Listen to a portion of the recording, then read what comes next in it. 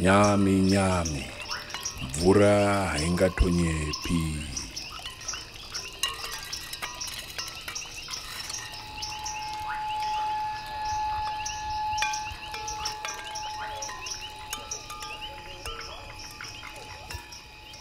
You know, I'm African and I believe in these things. And like I said, my grandfather was a rainmaker.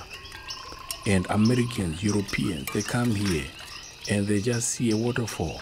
For me, right now, I can feel the spirit of the river.